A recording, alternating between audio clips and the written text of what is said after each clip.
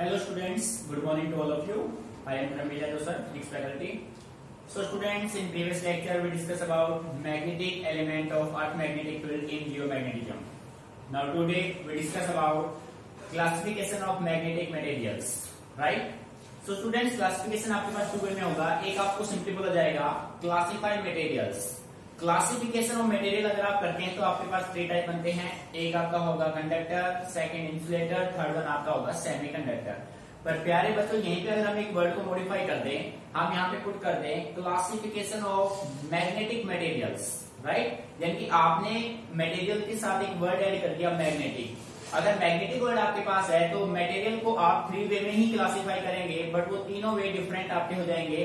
इस तरीके से आपके तीन टाइप बनेंगे paramagnetic substance diamagnetic substance ferromagnetic substance para dia and ferromagnetic substance three type अपने पास बनते हैं। सो प्यारे बच्चों, आप इनको देखो लर्न करना बिल्कुल इजी वे है। चीज़ों को रखना नहीं है, समझ के चलना है।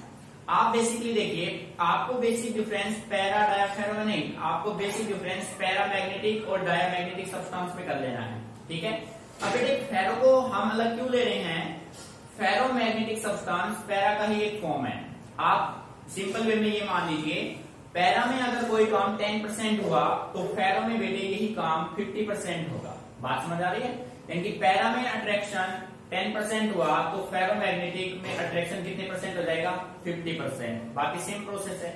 बट जो डायामैग्नेटिक सब्सटेंस है डायामैग्नेटिक सब्सटेंस पैरामैग्नेटिक सब्सटेंस के जस्ट रिवर्स है। अगर पैरामैग्नेटिक सब्सटेंस अट्रैक्शन करेगा तो डायामैग्नेटिक सब्सटेंस रिपल्सन करेगा। ये आपको माइंड में रखना है, ठीक है? सो अब बेसिक टर्मिनोलॉजी की हेल्प से हम तीनों को क्लासिफाई करते हैं वन बाय वन तीनों में डिफरेंस देखते हैं बेसिक डिफरेंस है क्या वो? तो प्यारे बच्चों, यहाँ से जो क्वेश्चन आपका बनेगा ना पैरा डायाफेरा का, ये सेपरेटली भी बन सकता है। भाई, आपको बस सिंपली बोल दिया जाए कि क्लासिफाई पैरामैग्नेटिक मटेरियल्स तो फिर आप ओनली पैरामैग्नेटिक को ही एलोबरेट करेंगे एक्सप्लेन करेंगे। अगर आपको डिफरेंस इन्हीं दो में बोल दिया जाए तो आप उन दोनों को ही डिफ्रेंशिएट करेंगे। थर्ड का यूज़ नहीं करेंगे। तो अब अपने लेक्चर को स्टार्ट करते हैं। सो so, प्यारे बच्चों ये हमने एक टेबल बना ली है। Diamagnetic substance paramagnetic substance paramagnetic substance तो प्यारे बच्चों फिर ध्यान रखना पैरा में कोई काम 50 टेन परसेंट हुआ तो फेरो में सेम काम होगा। कितने परसेंट 50 परसेंट ठीक है? सो फ़र्स्ट पॉइंट आपका इनका डेफिनेशन हो जाएगा। Diamagnetic substance are those which when placed in magnetizing field are weakly magnetize but main point ये है। मैग्नेटाइजेशन कैसे होगा? वीकली मैग्नेटाइज होगा in the opposite direction and hence are weakly repelled by it प्यारे बच्चों, अपने पास ओनली थ्री वर्ड्स हैं। वीकली मैग्नेटाइज अपोजिट डायरेक्शन और वीकली रिपेल्ड अभी प्रोसेस क्या है? देखो, प्यारे बच्चों, आपके पास दो इलेक्ट्रॉन है। भाई डायामैग्नेटिक सब्सटेंस वो होते हैं जिनके पास इलेक्ट्रॉन क्या हो? पेयर अगर इलेक्ट्रॉन का पेयर बन रहा है तो डायामैग्नेटिक सब्सटेंस है। इलेक्ट्रॉन अनपेयर्ड है तो वो पैरामैग्नेटिक सब्सटेंस है। क्लियर है? अब बेटे, जब दो इलेक्ट्रॉन पेयर होगा तो आपके पास ये दो इलेक्ट्रॉन होंगे। हो गए दो इलेक्ट्रॉन एक ये हो गया, दूसरा आपका ये हो गया। अब बेटे, इन दोनों का जो सेंस है ना, वो अपोजिट होगा। मान लो फ़र्स्ट इलेक्ट्रॉन क्लॉकवाइज डायरेक्शन में है तो सेकंड किसमें होगा? सेकंड आपका एंटी क्लॉकवाइज डायरेक्शन में होगा। बात समझ आ रही है? यानी ये दोनों जो है ना, एक दूसरे के अपोजिट सेंस में होंगे। अपना फ़र्स्ट इलेक्ट्रॉन अगर क्लॉकवाइज रोटेशन करेगा तो सेकंड किसमें करेगा? एंटी क्लॉकवाइज रोटेशन करेगा। दोनों के सेंस क्या हो गए? अपोजिट हो गए भाई। तो डेफिनेशन देखो। Diamagnetic substances are those which when placed in magnetizing field are weakly magnetized. कैसे मैग्नेटाइज होंगे? वीकली मैग्नेटाइज होगा बट दोनों के डायरेक्शन क्या रहेंगे? अपोजिट ठीक है? जब दोनों के डायरेक्शन अपोजिट हैं तो प्यारे बच्चों, और दोनों के चार्ज क्या हैं? सेम दोनों इलेक्ट्रॉन है ना? और चार्ज में आपने स्टडी किया था like charges repel each other it means ये दोनों क्या करेंगे? ये दोनों एक दूसरे क्या करेंगे? रिपेल करेंगे. मीनिंग क्लियर हुआ? अच्छे से? देखो. बेटे, सबसे पहले मान लीजिए आपके पास ये कोई एक डायामैग्नेटिक सब्सटेंस है। आपने इस डायामैग्नेटिक सब्सटेंस को किसमें रखा? एक मैग्नेटाइजिंग फ़ील्ड में रख दिया। ठीक है? अब डायामैग्नेटिक सब्सटेंसेस का मतलब आपके पास दो इलेक्ट्रॉन है। एक इलेक्ट्रॉन यहाँ पे हो गया, दूसरा इलेक्ट्रॉन यहाँ पे हो गया। दोनों के सेंस क्या होंगे? अपोजिट सेम चार्ज है रिपल्सन करेंगे। ठीक है? अब इनका जो अट्रैक्शन इनका जो रिपल्सन होगा, वो क्या होगा इन दोनों का? वो दोनों का क्या होगा? बिल्कुल वीक होगा। वीकली मैग्नेटाइज होंगे। स्ट्रॉन्गली मैग्नेटाइज नहीं होंगे। ठीक है? सो ये अपना सब्सटेंस कौन सा बन जाएगा बच्चे? डायामैग्नेटिक अब प्यारे बच्चों, अगर मैं डायामैग्नेटिक का जस्ट रिवर्स कर दू तो क्या बन जाएगा? पैरामैग्नेटिक कैसे बनेगा? देख। इसी के अलावा अपने आप डेफिनेशन बना देंगे आप। बेटे आपने अभी कहा कि जब इलेक्ट्रॉन पेयर्ड हैं तो कौन सा सब्सटेंस है? वो डायामैग्नेटिक सब्सटेंस है। और अगर इलेक्ट्रॉन पेयर्ड ना हो क्या क्या बन जाए? अनपेयर्ड इलेक्ट्रॉन हो। चाहे थ्री फाइव सेवन और नंबर में जितने भी इलेक्ट्रॉन होंगे सारे अनपेयर्ड होंगे। और अनपेयर्ड इलेक्ट्रॉन है तो सब्सटेंस कौन सा होगा? पैरामैग्नेटिक सब्सटेंस होगा। ठीक है? सो so, इसका रिवर्स कर दो। आप यहाँ पे लिखेंगे, paramagnetic substance are those which when place in magnetizing field. बेटे, ये तो वीकली ही रहेगा, इसको चेंज नहीं करना है। वीकली मैग्नेटाइज इसको चेंज करना है। यहाँ अपोजिट को आप किसमें चेंज कर देंगे? सेम में। ठीक है? किसमें चेंज कर देंगे भाई? सेम में। And hence are weakly repelled यहाँ रिपेल्ड था तो प्यारे बच्चों, यहाँ पे क्या हो जाएगा? अट्रैक्ट हो जाएगा। बात समझ आ रही है? ठीक है? कोई सिंगल इलेक्ट्रॉन लाई कर रहा है तो सिंगल इलेक्ट्रॉन मैग्नेटाइज क्या होगा? वीकली होगा स्ट्रॉन्गली तो नहीं हो पाएगा, ठीक है? तो प्यारे बच्चों, आपको करना क्या है? यहाँ पे वीकली हो सेम रहेगा। यहाँ पे जो अपोजिट है, वो सेम हो जाएगा। रिपेल को किसमें चेंज कर दोगे? अट्रैक्शन नहीं समझ में आ रहा। अब देखो, मैंने आपसे कहा था, बेटे फेरोमैग्नेटिक सब्सटेंस जो है, वो डायामैग्नेटिक पैरामैग्नेटिक सब्सटेंस अगर 10 परसेंट वर्क करता है तो फेरोमैग्नेटिक में ये वर्क कितने परसेंट हो जाएगा? 50 परसेंट तो देखिए सेम अब इसको बिल्कुल सेम लेके चलो। Ferromagnetic substance are those substance which when place in magnetizing field are बेटे, यहाँ पे क्या था? वीकली यहाँ पे क्या हो जाएगा? स्ट्रांगली क्योंकि यहाँ पे जो काम 10 परसेंट था ना प्यारे बच्चों, वो यहाँ पे कितने परसेंट हो गया? वो यहाँ पे 50 परसेंट हो गया। स्ट्रांगली बन गया भाई। स्ट्रांगली हो गया डायरेक्शन दोनों क्या रहेंगे? सेम यहाँ वीकली अट्रैक्टेड था तो यहाँ पे क्या बन जाएगा? स्ट्रांगली अट्रैक्टेड मीनिंग समझ में आ रहा है? सो प्यारे बच्चों बेसिकली आप पैरा और डाया लेके चलो। पैरो तो अपने आप बन जाएगा, क्योंकि पैरा में जो काम 10 परसेंट होगा फेरो में वही काम कितने परसेंट कर देंगे आप? 50 परसेंट कर देंगे भाई 50 60 जो भी है। ठीक है? फ़र्स्ट पॉइंट में कोई प्रॉब्लम क्लियर अब देखो। अब इनके एग्ज़ाम्पल की बात करते हैं कि भाई कौन कौन से मैग्नेटिक मटेरियल पैरामैग्नेटिक होंगे। कौन से डायमैग्नेटिक, कौन से फेरोमैग्नेटिक? ठीक है? सो प्यारे बच्चों, मर्करी, गोल्ड कॉपर ये सभी सब्सटेंस ऐसे होते हैं, आप केमिस्ट्री में इलेक्ट्रॉनिक कॉन्फ़िगरेशन से देख सकते हैं। इनमें अनपेड इलेक्ट्रॉन नहीं होते हैं। ये कंप्लीटली पेयर्ड होंगे। जब इलेक्ट्रॉन पेयर्ड होंगे तो कैसे सब्सटेंस बनेंगे? वो बनेंगे diamagnetic substance clear so mercury gold copper ये सभी आपके डायामैग्नेटिक सब्सटेंस है। ठीक है? सेकेंडली बेटे एल्यूमिनियम प्लेटिनम मैंगनीज आप इनको चेक करेंगे ना तो इनमें आपको अनपेड इलेक्ट्रॉन मिलेंगे। और बेटे अनपेड इलेक्ट्रॉन है तो इसका मतलब कौन से सब्सटेंस है वो? पैरामैग्नेटिक सब्सटेंस ठीक है? उसके बाद आयरन कोबाल्ट निकल ये आपके कैसे सब्सटेंस होंगे? फेरोमैग्नेटिक मीनिंग अच्छे के लिए अब देखो इनको याद करने के शॉर्टकट मैं आपको देता हूँ, कैसे आप याद रखोगे? एग्ज़ाम्पल बेटे एग्ज़ाम में पूछे जाते हैं डेफिनेटली भाई डाया मैग्नेटिक डाया मतलब डॉक्टर मान लो। डॉक्टर क्या यूज़ करता है? मरकरी यूज़ कर थर्मोमीटर बेटे थर्मोमीटर में क्या फील होता है? मरकरी सो एच डी हो गया। बात समझ आ गई? पैरामैग्नेटिक प्लेटिना पैरामीन्स प्लेटिना पीटी हो गया भाई। ठीक है? फेरोमैग्नेटिक फेरो आयरन से इंडिकेट कर रहे हैं। फेरो का फ़र्स्ट वर्ड क्या एफ़ ई तो बेटे, हो गया एफ़ ई इस तरीके से आप इसको मैनेज कर सकते हैं। अच्छे से याद आपको, रह जाएगा। तो प्यारे बच्चों डेफिनेशन में कोई प्रॉब्लम तीनों के डेफिनेशन क्लियर भाई, बस ये ध्यान रखना है। डायामैग्नेटिक सब्सटेंस में पेयर इलेक्ट्रॉन होते हैं। इलेक्ट्रॉन पेयर होंगे, दोनों के सेंस अपोजिट होंगे तो दोनों एक दूसरे को क्या करेंगे? रिपेल करेंगे। ठीक है? क्योंकि सेम चार्जेज हैं। पैरामैग्नेटिक सब्सटेंस में अनपेड इलेक्ट्रॉन है अनपेड इलेक्ट्रॉन है, दोनों का सेंस सेम है। सेंस अगर बच्चे सेम आ रहा है तो इसका मतलब वो क्या करेंगे? अट्रैक्ट करेंगे। एक इस साइड दूसरा इस साइड ठीक है? अच्छा। अब पैरा तो भाई पैरा का ही एलोबोरेट हो गया। ठीक है? अब प्यारे बच्चों, अब बात करते हैं इंडिविजुअल एटम और मोलिक्यूल्स के मैग्नेटिक मूवमेंट डायमैग्नेटिक में क्या होगा? पैरा में क्या होगा? फेरो में क्या होगा? देखिए। द इंडिविजुअल मतलब single single The individual atom molecule have zero magnetic moment in the absence of magnetic field. बेटे, ये कह रहा है, आप मान लीजिए कि आपके पास ये कोई, आपने मान लिया, ये कोई एक सब्सटेंस है। और कैसा सब्सटेंस है? डायमैग्नेटिक अब, जब तक आपने इस सब्सटेंस पे कोई मैग्नेटिक फ़ील्ड अप्लाई नहीं किया, जो भी एटम और मॉलिक्यूल होंगे, वो कैसे होंगे? रैंडमली होंगे। भाई, कोई इधर जा रहा है, कोई इधर जा रहा है, कोई मतलब अलग अलग डायरेक्शन में जा रहे हैं। ठीक है? तो जब तक आप कोई मैग्नेटिक फ़ील्ड इस पे अप्लाई नहीं करेंगे, इसका नेट जो मैग्नेटिक मूवमेंट है, वो आपको क्या मिलेगा? ज़ीरो मिलेगा। मैंने क्लियर द इंडिविजुअल एटम और molecule have zero magnetic movement in the absence of magnetic field जब तक मैग्नेटिक फ़ील्ड आप अप्लाई नहीं करेंगे, इसका जो नेट मूवमेंट होगा, वो आपको क्या मिलेगा? ज़ीरो मिलेगा। ठीक है प्यारे बच्चों? अब इसमें आ जाओ इसमें जो नेट मैग्नेटिक मूवमेंट है, वो आपको क्या मिलेगा? वो आपको नॉन ज़ीरो मिलेगा ज़ीरो नहीं मिलेगा। क्यों नहीं मिलेगा, प्यारे बच्चों?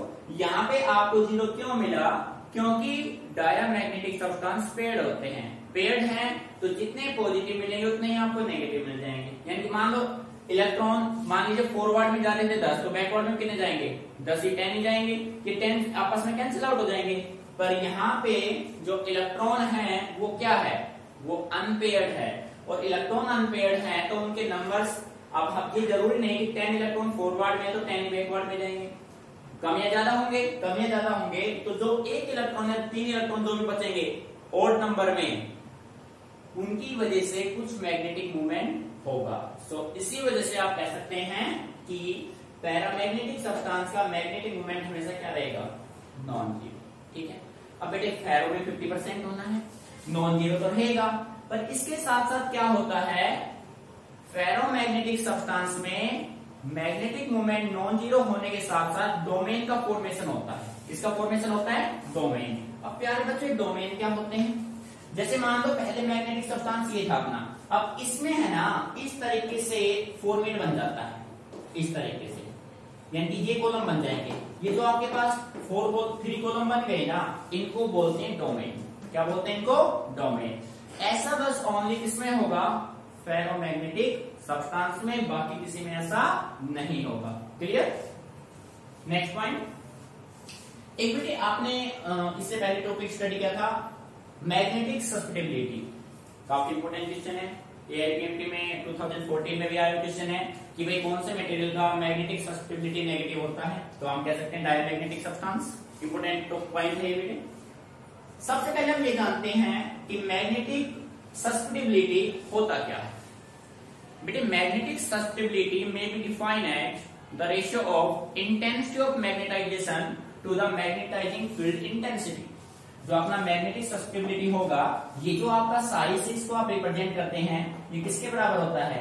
आई अपॉन एच ध्यान रखिए बच्चे, ये जो आपका होगा ना intense magnetic susceptibility is the ratio of intensity of magnetization to the magnetizing field intensity right और प्यारे बच्चों मैग्नेटिक सस्टेबिलिटी डायमैग्नेटिक सब्सटेंस की हमेशा स्मॉल और नेगेटिव होती है। और न्यूमेरिकल वैल्यू इसकी पूछी जाए तो माइनस है ये। Minus ten raise power minus five होता है। क्लियर और बेटे, आपने रिलेशन स्टडी किया हुआ है। म्यू आर आपका relative permittivity is equal to permittivity आपका ये one plus I so mu R हमेशा किससे कम होगा? वन से। ये दोनों पॉइंट आप ध्यान रखिए। काफ़ी इंपोर्टेंट पॉइंट है। क्वेश्चन वन मार्क्स में यहीं से बनेगा। Magnetic susceptibility of diamagnetic substance is small ये भी ध्यान रखना है भाई। स्मॉल नेगेटिव मैथमेटिकल वैल्यू ये होगा। ठीक है?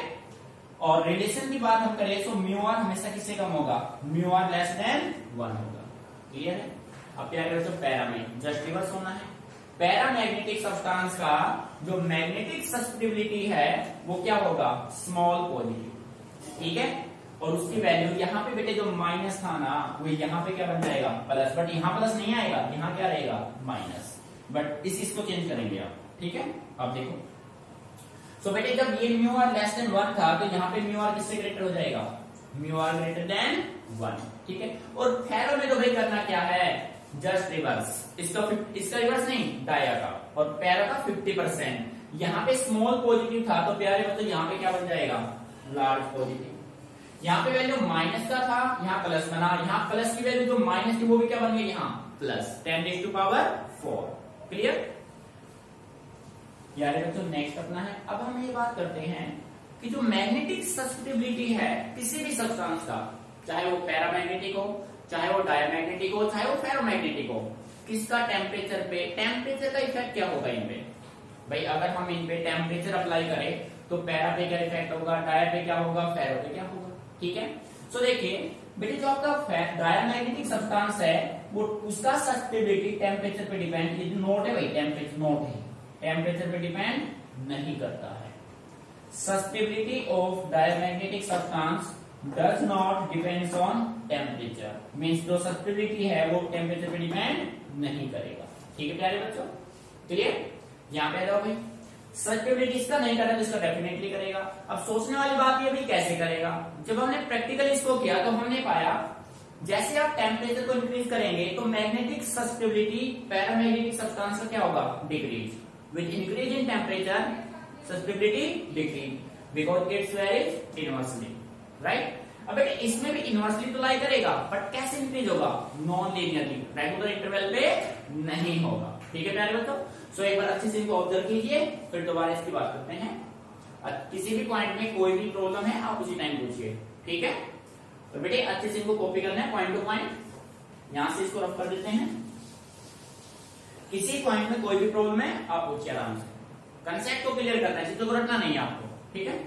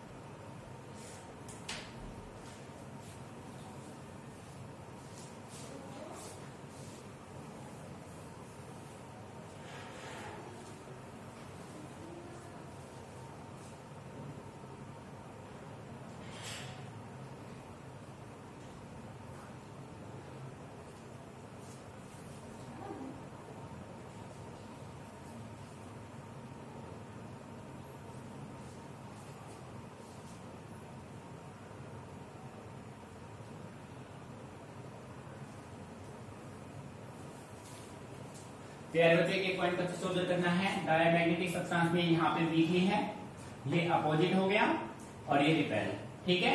पैरा में वीकली एज रहेगा बट अपोजिट किसमें चेंज हो जाएगा? सेम में। ये आपका सेम है भाई। फिर लिख देते हैं इसको। सेम ठीक है? यहाँ वीकली रिपेल कर रहा था तो यहाँ पे क्या करेगा? वीकली अट्रैक्टेड करेगा। क्लियर फिर इनके example mercury gold copper para में एल्यूमिनियम प्लेटिनम मैग्नीज फेरोमैग्नेटिक में आयरन कोबाल्ट निकल ठीक है? यहाँ पे इंडिविजुअल एटम मॉलिक्यूल का मैग्नेटिक मोमेंट क्या होगा?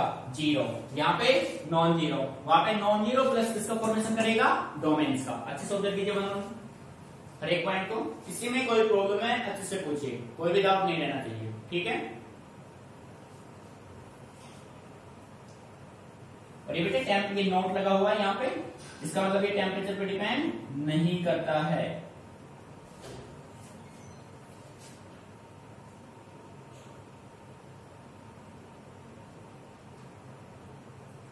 म्यू यहाँ पे आपका रिलेटिव परमेबिलिटी है ठीक है?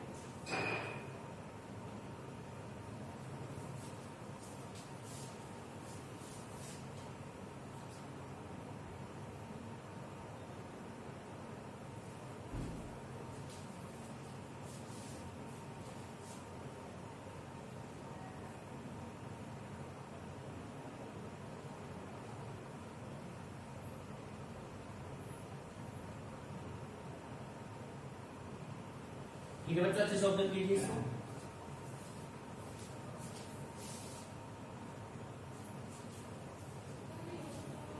so students now we discuss about explanation of paramagnetism और we can say that the theory of paramagnetic substance so प्यारे बच्चों, अब आप दो कंडीशन मेंटेन कीजिए। आपके पास जो भी एटम मॉलिक्यूल्स है, उन सभी को फ़र्स्ट कंडीशन में आप रखो in the absence of magnetic field in second case applied magnetic field so प्यारे बच्चों, देखो, ये आपके पास कंडीशन हो गया। ये देखिए। ये इंडिविजुअल एटम और मॉलिक्यूल्स हैं। इन इंडिविजुअल एटम और मॉलिक्यूल पे जब तक आपने कोई मैग्नेटिक फ़ील्ड अप्लाई नहीं किया है magnetizing field intensity H apply नहीं किया है तो इनका जो मोशन है, वो रेंडमली ओरिएंटेड है। इनका जो मोशन है, वो क्या है? रेंडमली ओरिएंटेड है। यानी कि कोई इलेक्ट्रॉन कहीं जा रहा है, कोई कहीं जा रहा है। एक पर्टिकुलर सेंस में कोई भी नहीं जा रहा है। जब बेटे ये सभी रैंडमली ओरिएंटेड होंगे तो इनका जो नेट मैग्नेटिक मूवमेंट है, वो भी क्या होगा? ज़ीरो सो आप कह सकते हैं, in paramagnetic substance some electrons are unpaired sure है भाई तो? पैरामैग्नेटिक सब्सटेंस में कुछ इलेक्ट्रॉन क्या होते हैं? अनपेयर्ड होते हैं। And hence each atom has non zero magnetic movement इनका नॉन ज़ीरो मैग्नेटिक मूवमेंट होगा। Even in the absence of the magnetic field क्यों होगा? क्योंकि कुछ इलेक्ट्रॉन ऐसे होंगे जो इवन ओल्ड नंबर में है, वो बच जाएँगे।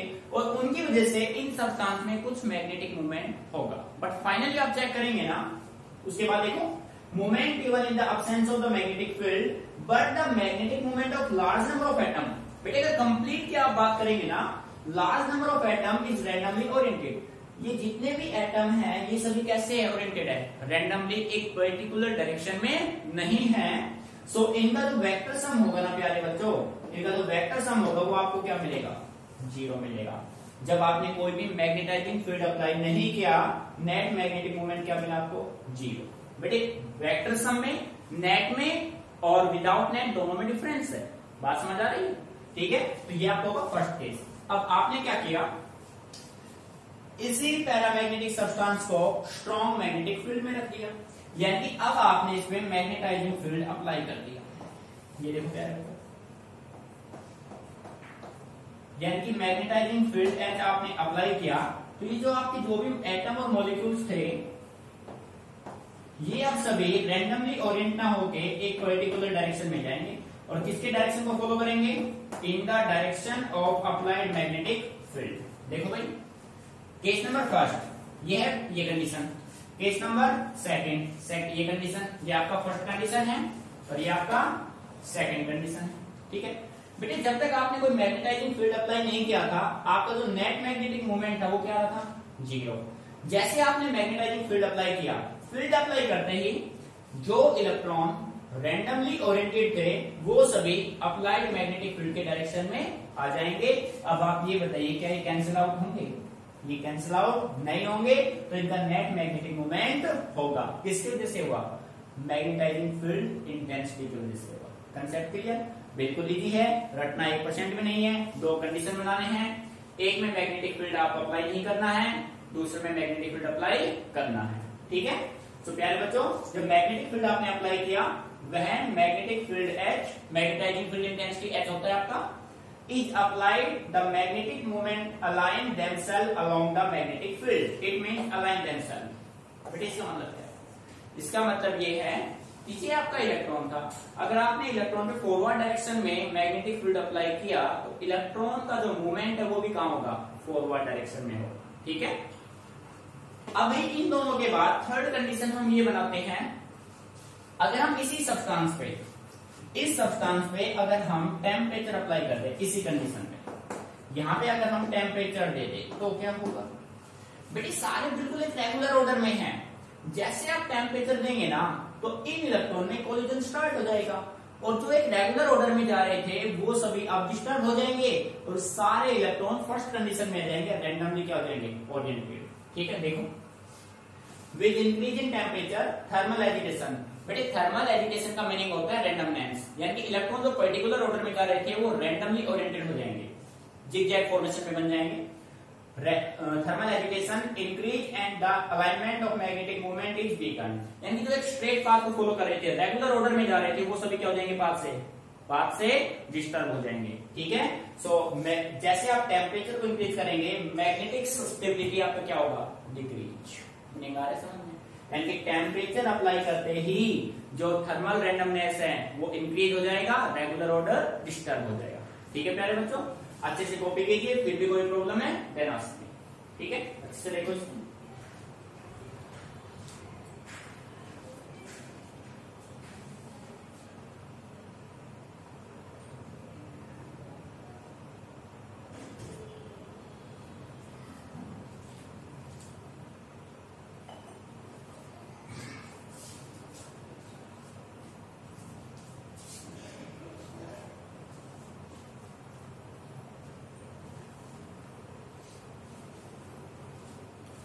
यार तो दो कंसेप्ट अलग अलग बना लेने हैं। फ़र्स्ट कंडीशन आपका ये है, जब आपने कोई मैग्नेटिक फ़ील्ड अप्लाई नहीं किया है सेकंड कंडीशन कब बनेगा?